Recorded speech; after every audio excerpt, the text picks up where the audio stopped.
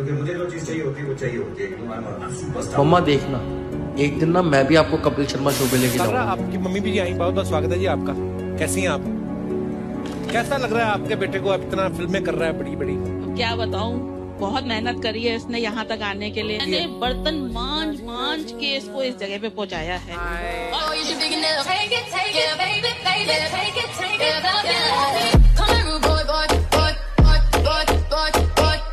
Thank